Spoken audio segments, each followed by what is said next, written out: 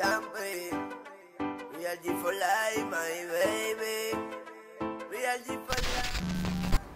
¿Qué tal? ¿Cómo están amigos de Frecuencia Deportiva? Hoy tenemos un gran entrevistado. Estamos hablando con Washington Vera, jugador de Guayaquil City. Guacho, te damos la bienvenida. Antes te pedimos eh, tu canción favorita, la cual siempre se la indicamos al entrevistado. ¿Cuál es la tuya? Ñengo Flow, ¿cuándo me dirá? Perfecto, ah, buena canción. Ah, hay algunos que no les guste, pero bueno, no hay ningún problema, Guacho. La vamos a escuchar. Interesante. Yo le caliento bien la pena. Y de corazón la hago un trasplante. Esa ingrata me mata, yo quiero. Para comenzar, coméntanos, tú eres el menor de tus cuatro hermanos, ¿no? Es decir, eras el engreído.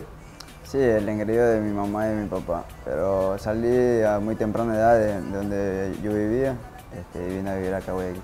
Eso de ser el engreído no quita, o por lo menos no le quita a nadie de que se gane su paliza por parte de mamá o papá. No, mi mamá siempre me pegaba, mi papá casi no, este, era una persona muy seria.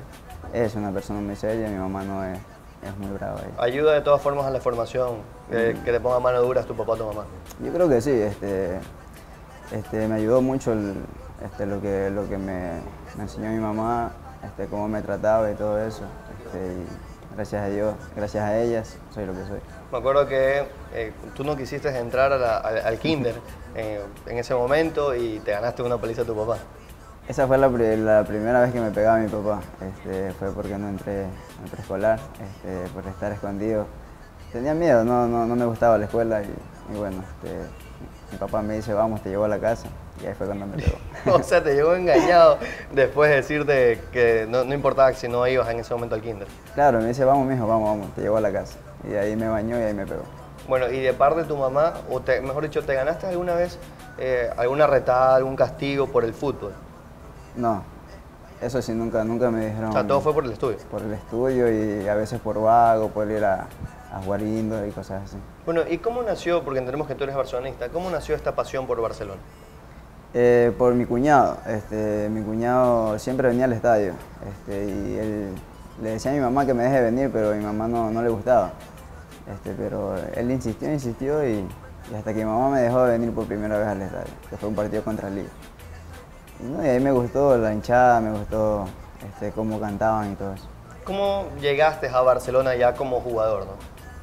Eh, cuando tenía, iba a cumplir 14 años, este, yo estaba en una escuela de Marco Chicas allá en Naranjal, el alcalde, este, y fue entrenador este, Manuel Luquilla, y él fue que me trajo acá.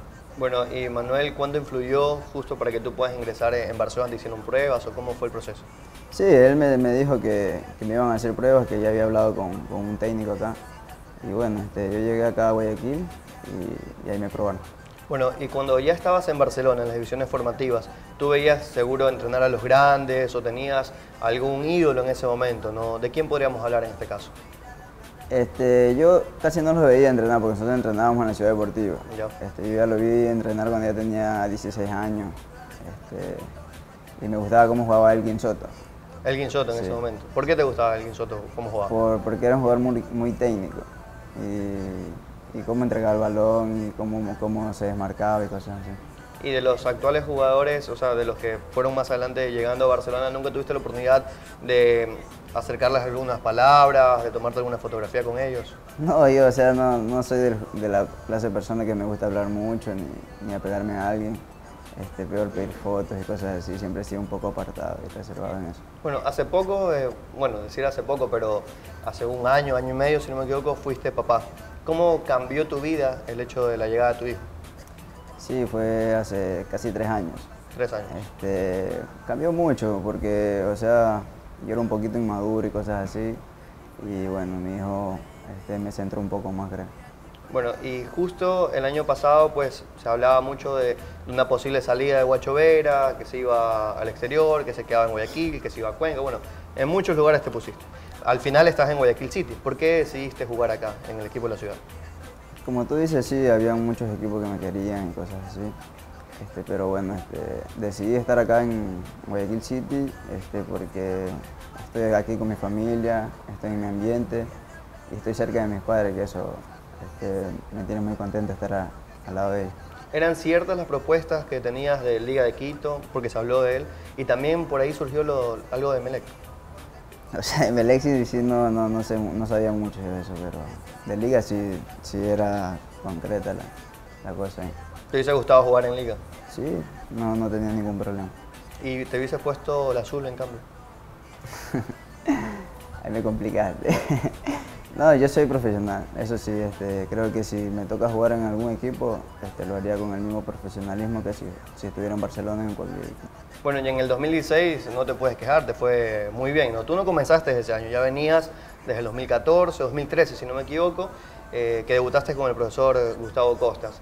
¿Cómo viviste el campeonato de Barcelona del 2016? ¿Qué se siente? ¿Cómo, cómo tú lo viviste en ese momento? O sea, yo lo viví de una manera muy, muy linda porque fue mi primer año que, que comencé a jugar partidos seguidos y este, me fue muy bien, gracias al profe Almada porque me dio muchas oportunidades a mí y a muchos jóvenes también que, que jugaron con él. Este, bueno, lo, lo, viví de una manera muy linda y eso no se, no se, para mí creo que no se olvida nunca. Bueno, ¿qué le podrías agradecer en cambio al profesor Guillermo Almada en cuanto a tu formación estando en Barcelona?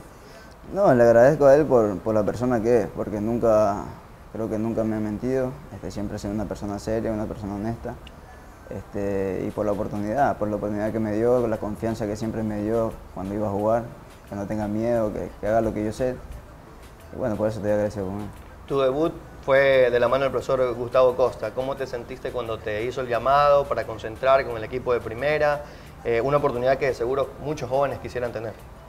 No, lo primero que hice fue llamar a mi papá y, y, contarle a mi papá y a mi hermano, porque mi hermano siempre me llama y cosas así.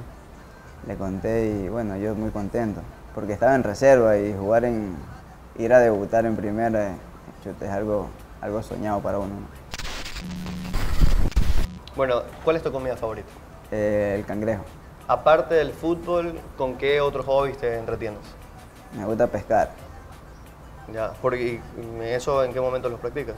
Eh, cuando voy a Naranjal donde mi papá, a Puerto Inca, este, siempre le digo, viejo, vámonos a pescar un rato. Y ya, pero me dice, ya vámonos. ¿Y cómo te conocen tus amigos? ¿Tienes algún apodo? Chino. Chino, pero O eso guacho. es acá en Guayaquil. No, aquí en Guayaquil el cholo o guacho. ¿Y quién te puso el cholo acá en Guayaquil? Eh, un amigo de reserva. Un amigo de reserva. Pero no me decían mucho. Ya, Ajá, él te lo sacó. Ajá, él me lo sacó, pero no me decían mucho, solo me decían Vera o Verita. Bueno, ¿y cuál es- ha sido, o cuál ha sido, mejor dicho, el hermano que te ha dado el fútbol para ti? El hermano. Sí, el hermano, alguien con el que te llevas muy bien, con el que siempre estás pendiente. Siempre, cuando, a ver, yo tenía como 18 años creo, lo conocí a Roosevelt. Oyola. A Roosevelt Loyola, así en un partido, ya estaba él jugando en primera, lo conocí en un partido amistoso en Salinas. Y él comenzó a decirme ahijado, ahijado, ahijado, y yo le digo, padrino, no, yo lo respeto mucho porque es una, una buena persona. Y, y por lo que ha vivido también.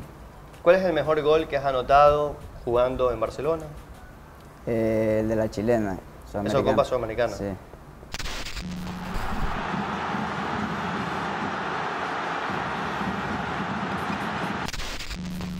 ¿Cómo te nació ese gol? O sea, ¿cómo, primero cómo lo viviste y antes si, si lo pensaste o cómo viste la forma de hacer ese gol. No, yo creo que eso no se piensa, sino que se hacen las cosas como, como están. Venía el balón y no tenía otra y me hice la chilena no. ¿Y algún gol que sueñas realizar? Un gol de afuera de la media cancha. Ya, ¿Disfrutarías más hacerle un gol a Barcelona o hoy en día a Emelec? A los dos. No, pues tienes que decidir por uno, pues, porque ahí no te casas ni con el uno ni con el otro. Ahorita Barcelona. ¿Por qué con Barcelona? Porque creo que es el único equipo que no le he marcado porque estaba ahí. Y bueno, sería lindo marcarle un gol a Barcelona. Si te pones a escoger entre Messi, Cristiano Ronaldo o Neymar, ¿por quién, ¿a quién te gustaría conocer? Por? A Cristiano, ¿Por qué? por la personalidad que tiene. ¿Te identificas con, con él? No tanto, este, porque yo soy muy distinto, y, pero sí me gusta la personalidad de él. Bien, ¿con ¿quién te parece que es el mejor volante que tiene actualmente el país, en tu posición? Mm,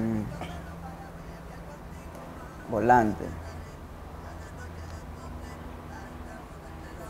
Eric Castillo, creo. Está Eric jugando Castillo. muy bien.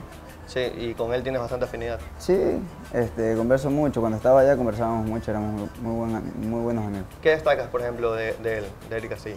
La velocidad que tiene. Si era complicado en los entrenamientos. Sí, muy complicado.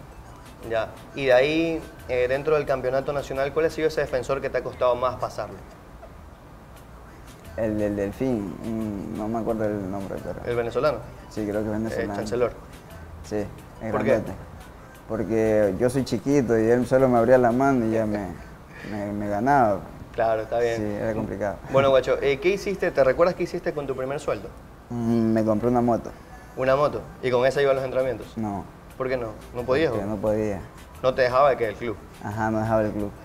No, pues si yo llego y mi mamá me ve que me compré una moto, lo que hace es comprarme de inmediato la caja. No le gusta a mi mamá la- las motos. ¿No te dijo nada a tu familia por la moto? Sí me dijo lo mismo, pero ya después este, ya no me decían nada, ya, ya andaba nomás tranquilo. Ya, que sea lo que, lo que Dios quiera, ¿no? Bueno, si no llegabas a ser futbolista, ¿te has puesto a pensar qué serías? La verdad no. ¿No? Y luego del fútbol, ¿tú quisieras estudiar algo o estás estudiando a la par algo? No, me gusta, este, me quisiera comprar una finca para mi papá. Ya. Una finca, ¿por, por qué? Banano, porque él sabe mucho de eso y porque me gusta, o sea, yo, mi papá se crió en eso y a mí también me gustaría seguir esa, esa carrera ahí. Bueno, ¿cuál ha sido el partido que más has disfrutado en esta carrera que tienes? Eh, contra el Melec, cuando ganamos 5-0. 5-0. ¿Cómo viviste ese, ese momento especial?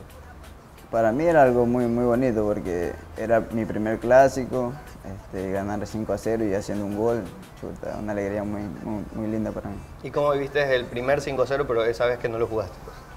Ahí estaba en las gradas y fue algo bonito, pero no, no como, como jugarlo y hacer gol. Bueno, y como barcelonista, esto te lo pregunto como barcelonista, no como jugador. eh, ¿Cómo tomaste el momento en el 2014 cuando Barcelona perdió la final contra el Melec? Chuta, fue algo muy duro porque también este, ya estaba ahí con primera y todo eso, este, no haber quedado campeón. Este, hubiera sido lindo para uno este, como joven haber quedado campeón ahí. ¿Te gustaría tener una revancha? Sí. Y ahora que juegas en Guayaquil City, anotarle a Melec, por ejemplo. Sabe que lo busqué mucho el gol ese día, pero no, no me salió. Fuera algo bonito también. Bueno, más allá de tu contrato que hoy eh, tienes acá en, en Guayaquil City, eh, el próximo año te tocaría volver a Barcelona. ¿Quieres volver a Barcelona? Sí, este, dije que iba a salir un año y si, bueno, si hay la oportunidad de volver allá, este, lo hago. La diferencia de pasar de Barcelona, por ejemplo, a Guayaquil City, yo te digo por, por el tema de la presión, ¿no? En Barcelona están todas las cámaras detrás de los jugadores, a veces puede ser hasta medio incómodo para ustedes. Acá en Guayaquil City es un ambiente mucho más extendido. ¿Cómo, cómo cambió tu vida en eso? O sea, cambia mucho, pero sí hace falta hacer la presión a veces, este, porque uno se, se, se motiva. A mí me motiva la presión, me motiva la gente. En cambio acá es un poco más tranquilo, nadie te molesta, cosas así. Ya le vamos a decir entonces a Fiorella que le meta más presión. Claro, tiene que meter presión, Fiorella. Listo, bueno, ahí está. Entonces, Guayaquil City, el jugador de Washington Vera, el equipo de la ciudad, que va a enfrentar pues al conjunto de Barcelona Sporting Club. Guacho, mándale un saludo por favor a todos los que ven a través de Frecuencia Deportiva. Un saludo para los que ven Frecuencia Deportiva. Listo, Washington Vera. y un saludo para Fiorella.